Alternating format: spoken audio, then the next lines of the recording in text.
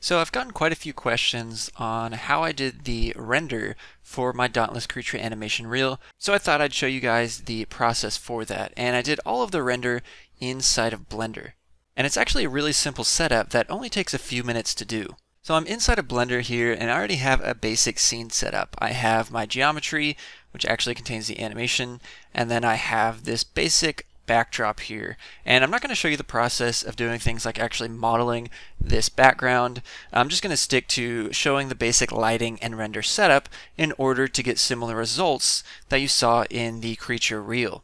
And for this backdrop, it's just a very simple plane that has been extruded a couple times to create this curved surface. And then we also have the camera animation already set up in our scene. So if we press zero on the number pad, that's going to jump into the camera view.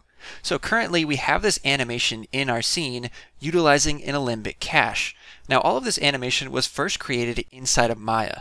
And once you're ready to bring your animation outside of Maya, all you would need to do is export it as an Alembic cache that will bake all of the animation down to the geometry itself, and then you would just bring in that geometry to your scene, and then what you get is what you see here with this mesh. So we have our scene here. If we go over here to render and choose render image, you'll notice that we're getting a completely black render, and that's because we have no type of lighting set up in our scene.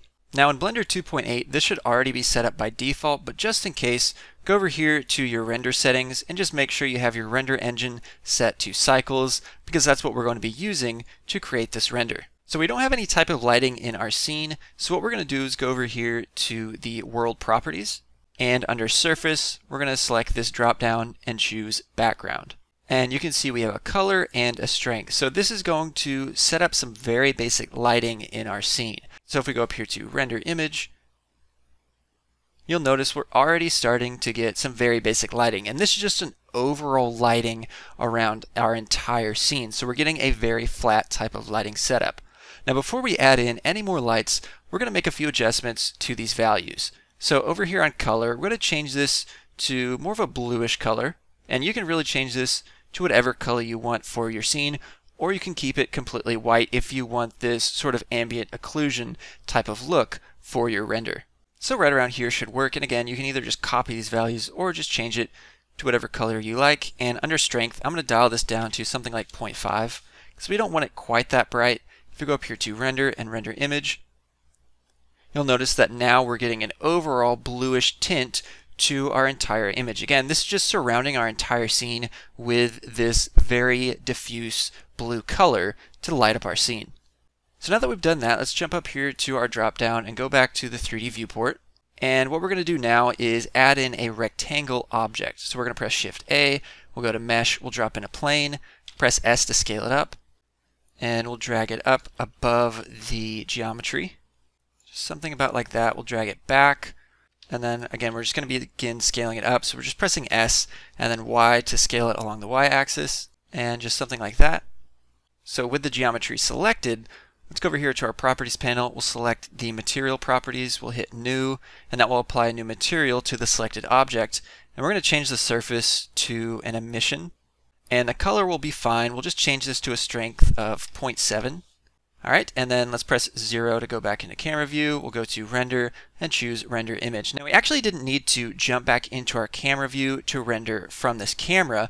If you have your camera selected, what you can do is go down here to view and then choose set active object as camera so that anytime you render, it's going to render from this camera.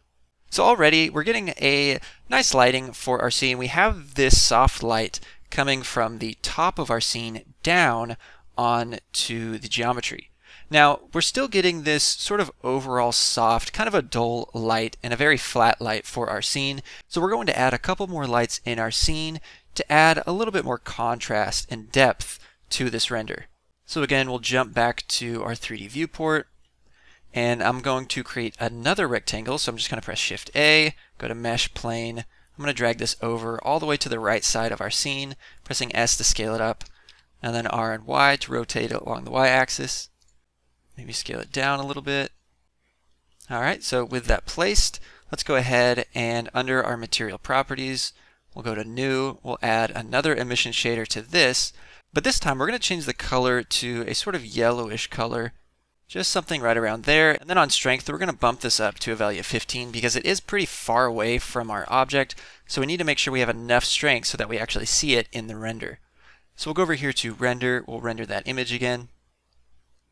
So now we're getting a yellowish tinted light coming from the right side of our screen, and we're starting to add just a little bit more depth to this render.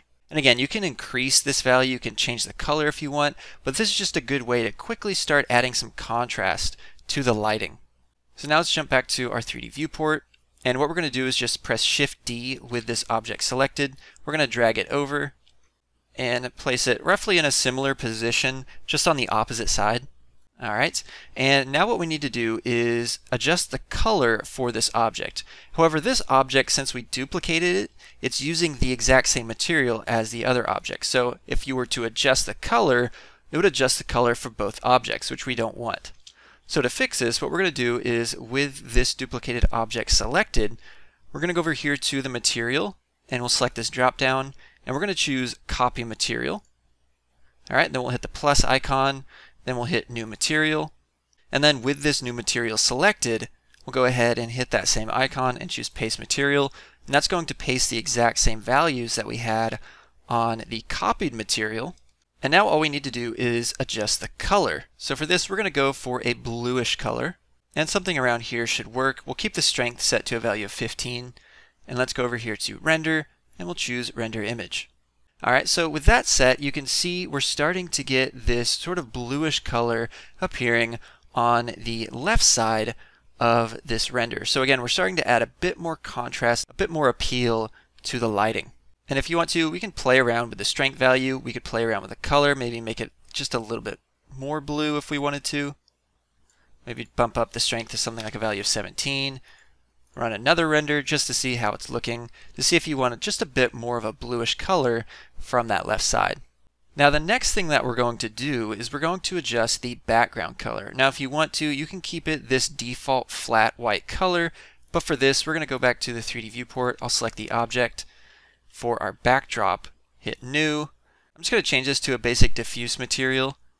And for the color on this, we're going to go for something more of like a dark blue. So just something like that, and we'll bring the roughness down to a value of zero. And again, if you want to, you can choose a bluish color or just do your own type of color. I'm just going roughly off some of the settings that I use for the actual creature animation reel. Some of these colors are very similar to the ones that I set up for that render. So with that set, let's go up here to render and we'll choose render image. All right, and there we go. So now we have our background as a blue color. We're getting some really nice bounce lighting. So we're seeing more of that bluish color across our entire render. And you can see with that yellow light on the right side, we're getting some nice soft warm lighting to add a bit more depth to this render. And that's really the entire process for setting up the render that you saw in that reel. Now one thing to point out is that if you look closely at this render, it's actually coming out pretty nicely. We're not getting a lot of noise, which is great. Now if your render has quite a bit of noise to it, what we can do is go over here to our render settings. Under the render samples, you can increase this maybe to something like 400, 300 or so if you want to reduce some of the noise that's coming in with your render. Now, the higher you increase this, the longer the render time will be. Right now, it's taking about 10 seconds per frame on this render. But if we bump it up to 400 and choose render image, you can see the render is going to take a little bit longer, but it's going to reduce some of that noise in the render. So you need to find that balance of enough samples to pretty much eliminate that noise, but you don't want to go too overboard where it takes a really long time to render out each frame. So you want to find that nice balance. So right there, upping the samples to 400 means the render takes about 26 seconds, which still isn't too bad. Now when you're ready to actually render out your animation, you can jump over here to the output and change how you want to render this out. If you want to render it out as a PNG, a JPEG, or even an AVI. And then once you have that set, you go up here to render and render out animation. So that's the very simple setup that I used when rendering out all of the animation for that Dauntless Creature animation reel. Really the longest process of that whole reel was basically just bringing the animation inside of Blender and animating the cameras. This actual render setup, once I set it up, I just copied that to all of the other animations so that I could just reuse it. But really the setup only took about 5 or 10 minutes and you can see you can get really nice results really quickly inside of Blender utilizing cycles.